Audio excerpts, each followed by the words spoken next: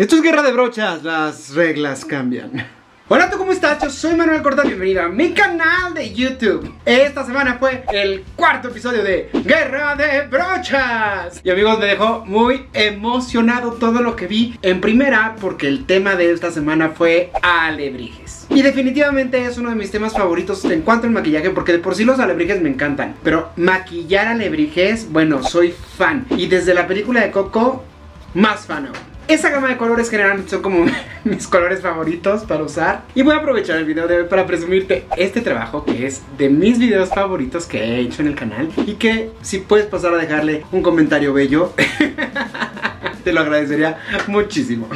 Pero ya hablando en serio, wow, ¿qué pasó esta semana? Bueno, esta semana los participantes se la vieron difícil porque este tema, a pesar de que parece muy sencillo, no lo es. Hay que entender los colores, hay que entender las formas, hay que entender la alegría que tiene un alebrije. Alegría, sí, es alegría. Pero sobre todo hay que poder plasmar todo lo que implican estas criaturas místicas, mágicas, musicales suscríbete. Antes que nada te recomiendo que vayas rapidísimo al link que está en la cajita de descripción donde puedes ver el episodio 4 para que después vengas y platiquemos a gusto y no te spoileré nada. Si ya viste los reviews anteriores, ya sabes que te voy a dar mi top 3, mi bottom 3 y te voy a decir quién creo que debió haber dejado el programa. También te voy a decir quién es el juez que se lleva el premio Mi Simpatía de la semana por su carisma a cuadro y sus comentarios sobre todo objetivos y atinados. Amigos, estoy que me da, que me da, que me da, que me dio. Porque este ha sido mi episodio favorito hasta el momento. Aparte que el tema me encanta, los participantes la verdad es que lo hicieron muy bien. Aunque mi tabla de puntuaciones cambió completamente a lo que yo había visto antes. O sea, se hizo un revolvedero para todos lados. Y para no hacerte el cuento más largo, ¿qué te parece que vamos a mi top 3. La primera persona que yo te voy a poner en este top 3 es Angie Roa. Y estoy impresionado con el trabajo de esta chilena. Me sorprende muchísimo cómo los extranjeros muchas veces entienden mucho mejor nuestra cultura que nosotros mismos los mexicanos. Porque ella entendió perfecto los colores, las formas. O sea, yo la veía y era un alebrije. Era un alebrije. Y qué hermoso alebrije ella tocó un punto que es importantísimo que es que cuando haces ese tipo de pinturas desde el pecho hasta el rostro es muy conveniente usar acuacolores y ella lo hizo a la perfección lo que hacía que los colores se vieran preciosos, saturados, brillantes, muy bien. El acuacolor verde se veía un poco transparente en el pecho pero eso puede ser la marca que utilizó. Fuera de eso Angie me sigue sorprendiendo, te instalaste en el top 3 y por lo visto no te quieres ir de ahí. Me encantó que incluyera el pelo, los cuernos, o sea, todo lo que hiciste me habló de un detalle y sobre todo de un entendimiento del tema que te aplaudo, porque creo que lo realizaste perfectamente bien. Los jueces criticaron tu nariz, pero yo te voy a decir que a mí me gusta, me gusta porque los alebrijes generalmente están hechos de papel maché. Todavía no tiene nombre, ¿eh? Y generalmente se les ve ese tipo de texturas y de formas. Y a mí lo que me fascina del maquillaje es cuando nos transformamos completamente. Así que creo que lo entendiste, creo que lo tienes, Angie, vas con todo. Y así nos vamos rápidamente a mi segundo top 3, que es para Mónica Ibarra. O Mónica Ibarra. No sé de qué lado está. Mónica, qué impresión, qué trabajo tan hermoso. Desde hace tiempo ustedes saben que yo la sigo, es mi amiga desde los Face Awards y creo que este ha sido de los mejores trabajos que le he visto en la vida. Todas las figuras que hizo en el pecho, todos los colores que utilizó, la forma de combinar esos colores, totalmente gritaban al mundo ¡Alebrije! Y bueno, ya que acaba esta obra de arte, que nada más eso valía estar en este top 3, saca ese tocado que se hizo precioso, armónicamente con su cara. Si bien su cara es muy sencilla, creo que me parece bien. A mí a diferencia del jurado, me parece que está bien que sea tan sencillo para no saturar demasiado el maquillaje. Quizás si lo hubiera llevado un poco más hacia el rostro, pero vaya, a mí el concepto me pareció genial. Me pareció brillante, me gustó de dónde lo sacó, me gustó la inspiración y sobre todo es un alebrije que yo nunca antes había visto. Porque ya con la película de Coco, los alebrijes que sobre todo los países extranjeros conocen muy bien eso de la cultura mexicana, ya ha habido muchos maquillajes de alebrije y este es un maquillaje que me sorprendió y y que Mónica creo que en esta competencia te puso en un nuevo nivel. Creo que esta competencia la iniciaste un poquito tibia, pero ya llegó el momento en el que dijiste, aquí estoy, me planté y venga, venga, venga.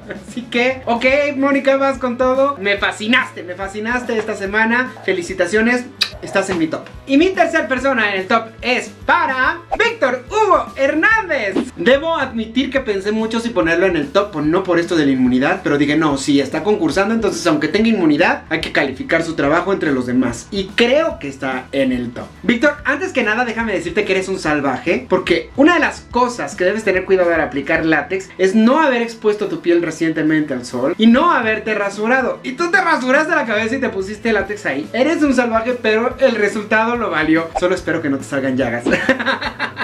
Me fascinó, me fascinó. Desde que empecé a ver los apliques que pusiste, dije, ay, qué bonito se ven. Y luego esa manera de poner los colores neón, me fascinaron. Fíjate que quemaste el chiste porque yo no, no me había dado cuenta que eran ultravioleta los colores, nada más pensaba que eran neones. Pero a la hora que se ve ese trabajo con la luz negra, wow, qué hermoso trabajo. El área de los ojos me fascinó, me fascinó los colores que elegiste. Quizá hubiera hecho yo un poco más de detalles, pero vaya, o sea, el maquillaje fue impresionante por sí solo. Tú eres otro que estás peleando muy fuerte.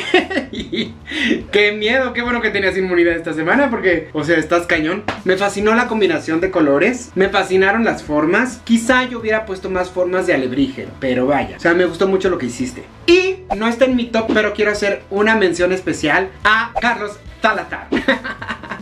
Carlos, sobre todo te hago esta mención porque estuviste así de quedar en mi top. Y después de haber estado tantas veces en mi bottom, me enorgullece mucho que estés ahorita aquí. Creo que también entendiste muy bien lo que es el alebrije y entiendes muy bien a la cultura mexicana. Me fascinó tu trabajo, todo el cuidado que pusiste en ese tocado creo que fue la diferencia. Y en tu caso en particular, cuando encendiste la luz negra y el maquillaje neón brilló, fue una gran sorpresa para mí y se transformó por completo el maquillaje. Te quedaste así a nada a nada, pero te lo quería decir. Y ahora nos vamos a la parte que no es tan bonita, de hecho es muy fea, pero de la cual se tiene también que hablar, que es el bottom 3. ¡Qué sorpresa, qué sorpresa muchachos, qué sorpresa! Porque ahora sí, no lo vi venir, no lo vi venir, pero ahí les va quienes están en mi bottom 3. Y la primera persona en mi bottom 3 es Efren Samaniego. Tristemente porque me fascina su trabajo, tristemente porque es un gran artista y tristemente porque siento que su trabajo es espectacular. Pero ¿por qué está en mi bottom 3? Porque creo que no entendió cuál era el reto esta semana. Su maquillaje fue hermoso. De hecho, podría haber estado en la portada de una revista si no fuera porque la ceja estaba chueca medio abajo. Pero vaya, o sea, ese difuminado de colores que hizo en la frente, alrededor del rostro, era muy bello su maquillaje. Pero no me decía alebrije. Yo simplemente no vi una alebrije ahí. Vi una quimera, si así lo quieres ver. Vi como esta onda antropomorfa del pez, pero siento que no entendiste el tema. Y los alebrijes son saturación, saturación de color, saturación de formas, saturación de folclore mexicano y en particular tu maquillaje esta semana estaba muy limpio, estaba muy no sé, no sé cuál es la palabra que usaría para definirlo, pero no es alebrije. Y solo por eso estás en mi bottom. Efren, yo te admiro muchísimo, me encantas como artista y espero que este bajón, en vez de tirarte, te amarre para subirte otra vez. Y así nos vamos a la segunda persona que yo puse en este bottom 3, que es Pepe Rivera. Pepe, no me odies. En verdad, tu trabajo me gustó muchísimo. Me parece que eres un gran, gran artista. Me impresionó cómo conseguiste esas saturaciones de color con sombras de los ojos en su mayoría. Y que tienes un dominio del drag impresionante. Me gusta mucho lo que haces, me gusta mucho cómo saturas el color, me gusta mucho la idea que tienes. Pero ¿por qué estás para mí en este bottom? En primera porque todo el cuidado que le metiste a esta parte del rostro no estuvo ni aquí en la frente ni en el resto del pecho. Aquí en la frente hiciste un triángulo que ni siquiera estaba a la mitad de tu rostro, estaba como, como para acá. Y aunque los alebrijes se pintan a mano y tienen como ese como esa calidad de hecho a mano, creo que ese tipo de detalles los tienes que cuidar mucho más. En segunda, las alas y las orejas que hiciste me fascinaron también, pero no incluiste tu pelo. Creo que si hubieras incluido tu pelo, se hubiera transformado por completo tu look. No quiero que me entiendas mal, tu trabajo me parece muy bueno, solo creo que te falta dar un poquito más para cuidar los detalles. Ahora, en verdad el nivel de la competencia está tan alto que van así, o sea, de repente están en el top, de repente están en el bottom, de repente no sé dónde están. Me gustó mucho tu trabajo, solo me pareció que no estaba terminado. Y la tercera persona mi voto es Fanny Samaniego. Y con Fanny me pasó lo mismo que con Efren. Siento que no entendió el tema y que se quedó tímida porque cuando vi las púas que hizo para su cabeza dije, ¡Ah! espectacular, parecen púas sacadas de una lebrige. O sea, de verdad entendió perfecto para dónde va. Puso la calva y dije, wow, wow, se va a transformar por completo. Puso la base blanca y luego empezó a poner colores con las sombras y quedaron colores muy tenues. Entonces es un maquillaje que quedó completamente diluido. Si el trabajo y la fuerza que puso en los ojos, que sí eran los ojos de una lebrige, lo hubiera puesto en el resto del cuerpo y en el pecho, hubiera sido espectacular. Este maquillaje era la semillita de algo que iba a ser increíble. Pero creo que ella misma no supo cómo desarrollarlo a llevarlo a más. Lo dejó como, como superficial, como diluido, como que no, no profundizó. Y eso, a comparación del trabajo de todos los demás, sí hace que se haya quedado como chiquita. Entonces por eso Fanny, estás en mi bottom 3 esta semana. Y ahora ha llegado el momento de lo que todos están esperando. Y es quién para mí de este top se lleva esta semana la corona. Y bueno, para mí la persona que se lleva esta semana la corona es...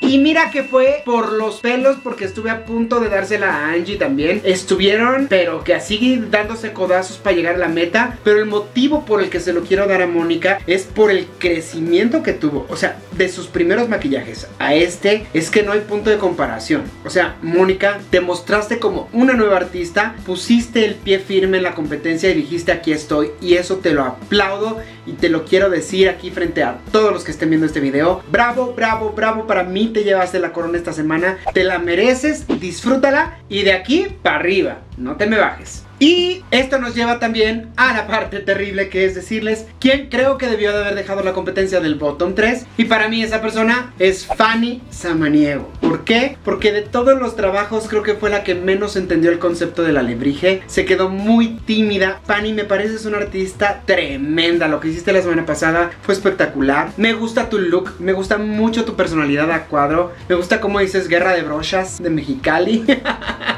Creo que tienes un gran potencial y que eres una gran artista y estoy seguro que vas a llegar lejos. Pero pues sí, estoy muy de acuerdo con el jurado y esta semana creo que era tu momento de dejar la competencia. Y así nos vamos a entregar el premio Mi Simpatía de la semana al jurado que con su carisma y sus comentarios atinados se lo ganó. y para mí esa persona es Victoria Stefan. Esta mujer me encanta porque siempre se viste increíble. Tiene unos looks camaleónicos, cada semana es diferente. Tiene una chispa cuando habla a la cámara. Me gustan sus cambios de look, me gusta todo, pero sobre todo esta semana en particular la sentí súper objetiva. Con las cosas buenas, súper buena. Con las cosas malas fue muy sincera, muy real. Y eso para mí te da un plus porque todos los que están en este concurso quieren sacar algo para aprender y mejorar. Y esta semana tus comentarios para mí fueron los más atinados. Me encanta cuadro, me encanta tu personalidad y por eso para mí esta semana tú te llevaste el premio Mi Simpatía. Y ahora sí, agárrense porque vamos a platicar de lo que pasó en el concurso esta semana. Viene lo bueno. Este programa fue espectacular. Pero tengo, tengo un pollito que comerme contigo, Isaac Romo, porque eres el que siempre todas las semanas me cambia la jugada. Queda muy claro que dicen que en Guerra de Brochas las reglas cambian, como en Big Brother. Pero, pues me hubieras explicado antes que cada ganador tenía un privilegio, porque me lo explicaste hasta hoy que es el cuarto programa. Y es que así fue. Cada ganador tiene cierto privilegio. Uno escoge su personaje, el otro escoge lo que quiere hacer. Y esta semana tuvo inmunidad Víctor Hugo FX. Pero lo que debo aplaudirles muchísimo, que me fascina que hagan eso, es que esta semana hubo un empate en primer lugar. El jurado consideró que Angie Roa y Mónica Ibarra están empatadas, así que tienen desde que terminó el programa hasta las siguientes 24 horas para votar por ellas por su cuenta de Instagram. No sé si cuando salga este video ya estará la ganadora o no anunciada, o si lo van a anunciar hasta el siguiente episodio, que creo que es así como lo dijo Isaac. Pero bravo, bravo, bravo, bravo, mis respetos porque esa es la manera perfecta para tener al público involucrado, que se metan, que voten, que digan quién quiere que gane y creo que esa es la mejor forma de hacer un desempate. Guerra de brochas, se los aplaudo, me fascinó lo que hicieron, me fascinó que les regalaran también un kit a ustedes. Por cierto, si los patrocinadores me quieren mandar un kit también a mí, yo se los acepto.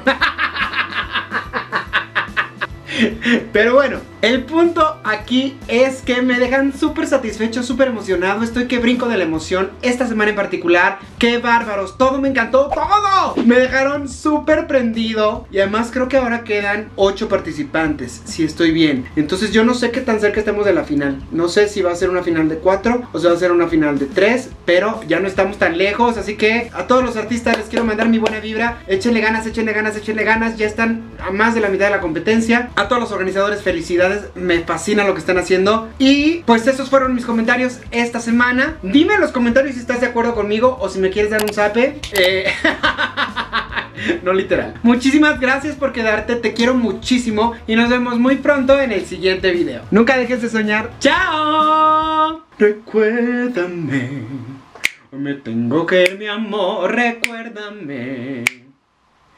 No llores, por favor.